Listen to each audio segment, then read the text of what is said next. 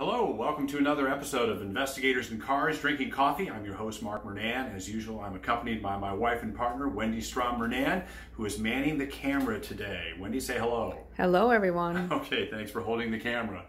We are doing some traveling today, and we're going to be flying on an airline that we use regularly, uh, and we will be carrying a firearm to our location.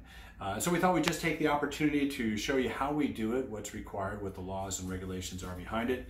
Uh, if you have ever thought about it, if you are a responsible gun owner, I want to get, bring your attention to two things. Number one, know the laws where you live and know the laws about where you're going.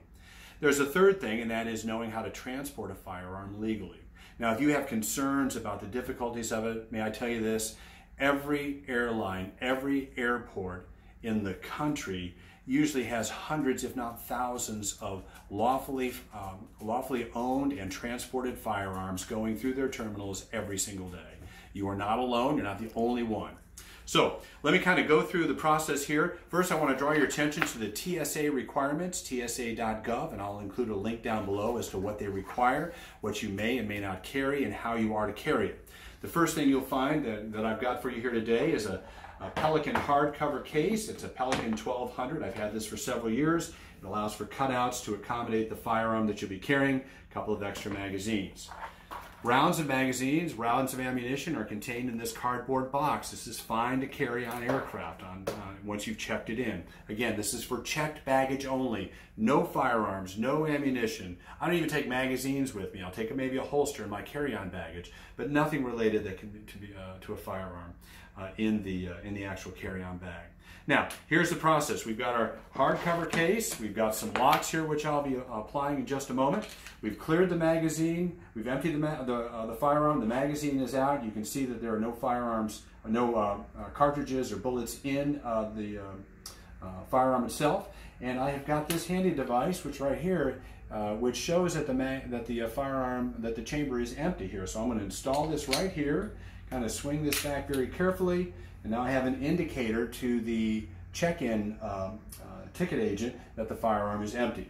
Now there are three things that you must know, three steps that we'll be going through today on transporting a firearm safely on an airline. Number one is the check-in process, okay? Number two, uh, not just, I'm sorry, the packaging. Number two, um, that we're going to be doing is the check-in process, and number three is the retrieving. So the uh, declaration, the pack, the packing, the declaration at the counter, and uh, the retrieval at the other side at your uh, at your airport.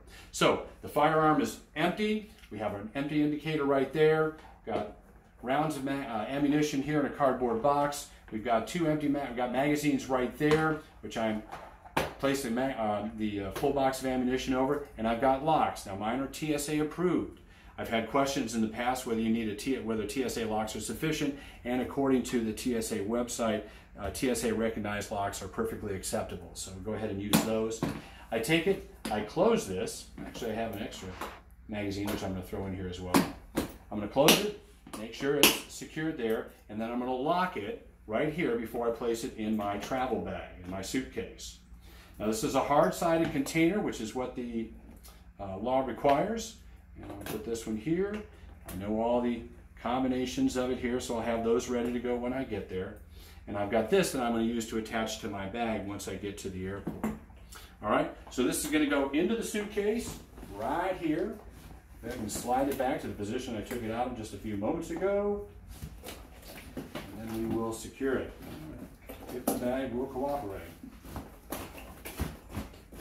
Get in there, you little devil. Okay, fantastic. There we go shove this shut. Give myself a little bit of packing room here. Boom. And I'm to uh, carry it right there with a little TSA lock. Make sure that it is in there. And of course, it's not cooperating with me right now, but you get the picture. I also carry these with me as well, one for the TSA.gov as well as the airline I'll be flying on. And these are the regulations that you'll need to know when you check in at the counter. This specifies the method of carry, the process of declaring the firearm, uh, and retrieving the firearm at the other side. I just keep these with me.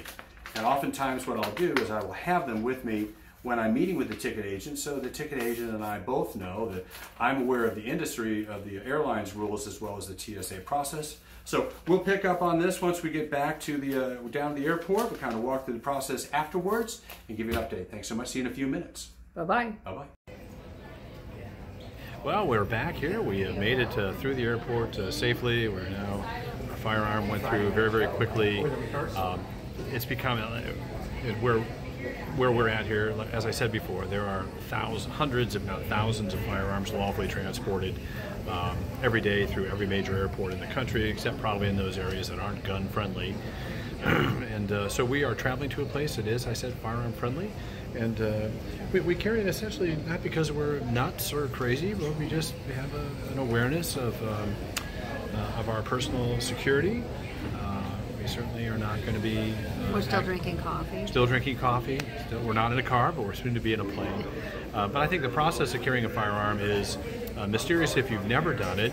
Um, if you are a responsible firearms owner, please don't feel hesitant to explore the TSA website, um, explore the, um, uh, the flight, uh, the airline, um, the airline site, which has information about sporting equipment. If you scroll down, you'll find a, a section for how to uh, transport firearms, what the individual airline rules are. And then once we're at the airport, go ahead. Question. Yeah. Now, when it comes out of baggage claim, is it come on the little thing that goes the carousel, or no. do you have to go to the office and pick Good it up? Good question. No, oh, okay. it's not supposed to be placed on the carousel oh, okay. where anybody else can uh, just grab it. It's set aside into uh, near the baggage claim office for the particular airline or for the um, or wherever the uh, uh claim uh, baggage claim uh, trolley that you're on.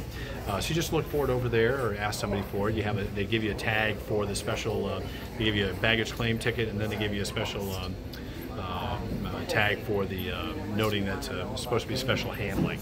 So we'll find out when we get over to our destination. And you said that this airport was very easy. This airport was because they, they have so many. in the basement. No, no. Yeah. A lot of times you have to accompany the TSA agent, but it's I think some of the larger airports they have so many of them yeah. that the ticket agent just put it on the. Um, he marked the bag, and Mark had a special tag on it there. If they have an issue, the airline notices us through a so kind of a routine thing almost. A very routine, particularly where we're at here in South Florida, where they have a, a lot, a lot of firearms, a lot yeah. of people with carry permits. So they I, interrogate you? No, no, they didn't beat me up with a hose this time. That was last time. Oh, oh yeah. But uh, let me just make you aware too that if you are flying. Uh, if you are carrying a firearm and traveling, then you really need to be subscribing to or be a member of the a couple gun rights associations such as the NRA, the National Rifle Association. Uh, we've been long-term members of that, and also the U, uh, U.S. Concealed Carry Association, USCCA, but I think it's usconcealedcarry.com, yeah. uh, has information on uh, what uh, the particular reciprocity laws, if you have a carry permit in Florida, you gotta is, know that stuff. You got to know that yeah. stuff. That is just part of being a responsible firearms owner, and she's responsible. I'm a little irresponsible, but she's very responsible.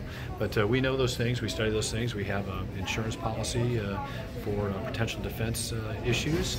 Uh, but we just take advantage of, uh, of our legal right to carry, and we carry responsibly.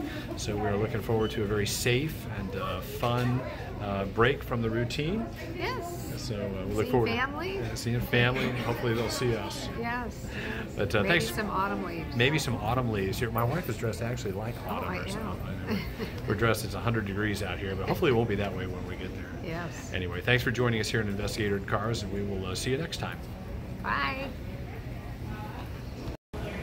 All right, this can kind of close the loop on our uh, firing, uh, traveling with a firearm video. Here is our uh, bag securely uh, arriving here. You see the GA CAGBT tag, tag right there. And uh, let me just pause this for a second.